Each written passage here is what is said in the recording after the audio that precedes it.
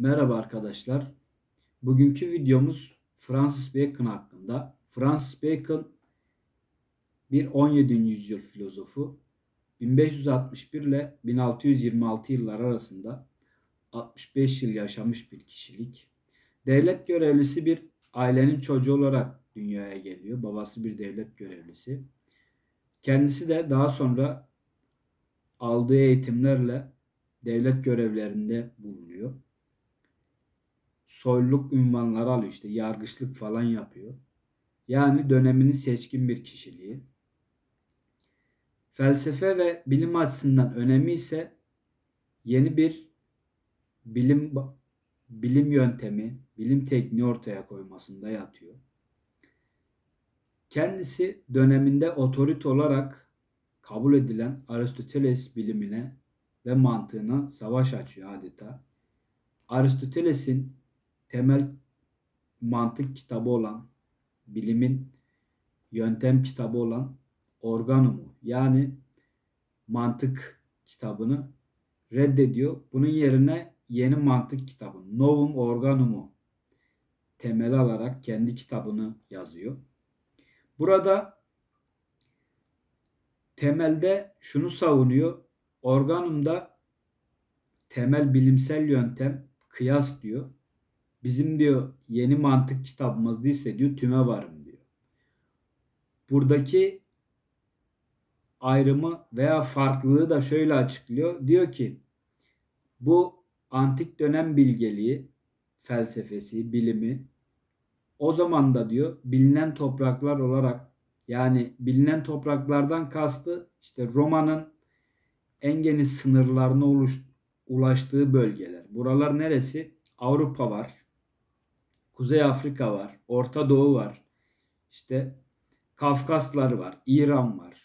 Ukrayna'nın olduğu yerler falan. Buralardan bahsediyor. Buraların diyor bilgeliği var. Antik dönemde ama diyor coğrafi keşiflerle, coğrafya devrimiyle diyor bu artık daha da diyor genişletilmesi gereken bir şey. Yenilikler ortaya çıktı. Kıyasla diyor yenilikleri diyor bilimsel çerçeveye yerleştiremiyorsunuz. Bunun için ne yapmanız lazım diyor. Tüme varım yapmanız lazım. Yani bir temel bilim yöntemi olarak kıyas yerine tüme varımı koyuyor. Ayrıca dört tane idoladan bahsediyor. İdoladan kastedilen şey putlar. Bunlara idoller de deniyor İngilizce'de. Dört tane put var. Kabile putu, çarşı pazar putu, mağara putu ve tiyatro putu. Bunlar ayrıntılarıyla açıklanıyor Novum Organum kitabında ve hakikatin önündeki engeller olarak sunuluyor. Bundan sonra asıl amaçsa yani Bacon'ın asıl amacıysa kitabın sonunda belirtiliyor. Buradaki asıl amaçsa şu İnsan diyor düşüşle yani cennetten kovulmayla diyor iki şeyi kaybetti. Birincisi masumiyet, ikincisi ise diyor yaratılmışlar üzerindeki hakimiyet. Bunlar diyor bir dereceye kadar bu dünyada telafi edilebilir. Din ve imanla diyor kaybedilen masumiyet telafi edilir. Bilimler ve sanatlarla da diyor yaratılmışlar üzerinde kaybedilmiş olan hakimiyet diyor. Bir dereceye kadar telafi edilebilir. Amacı bu şekilde. Ondan sonra yine kişinin yani filozofun denemeler kitabı var. Bu denemelerde birçok bilgi var. Yani bahçecilikten tutun da işte yargıçların durumuna kadar veya yargıçlar üzerine kadar ondan sonra baş kaldırılar üzerine kadar veya hatta daha farklı şeyler aşklar dostluklar üzerine birçok başlıkta konu başlığında sözler hem kendi fikirlerini hem de eski dönemin bilgelerinden sözler toparlamış. Çok güzel bir kitap. Ya yani mesela beklemekle ilgili bir bölüm var beklemek üzerine diye.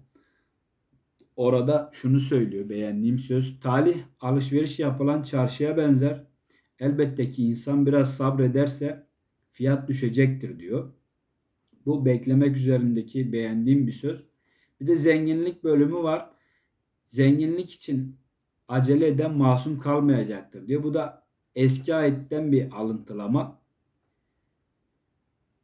Servetinin diyor azı için çok, büyük kısmı içinse neredeyse hiç çaba sarf etmezsin diyor. Kendisi zenginleşme örneği olarak ise şeyi vermiş, çiftçiliği vermiş, hayvancılığı vermiş.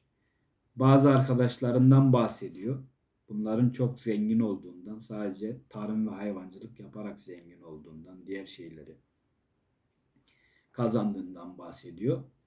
Bir de arkadaşlar onu unutmadan daha doğrusu şöyle sözümü unutmadan bir de bilim insanı tipi çiziyor. Bilim insanı portresi çiziyor. Usçular ve diyor yani akılcılar ve deneyciler var. Deneyciler bir karınca gibi diyor. Gider doğadan bir şeyleri toplar getirir biriktirir diyor.